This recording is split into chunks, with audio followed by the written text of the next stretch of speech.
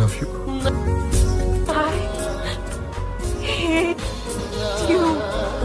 बताओ, याद है तुमको वो जब दिल को चुराया था चुराई चीज़ को तुमने खुदा का घर बनाया था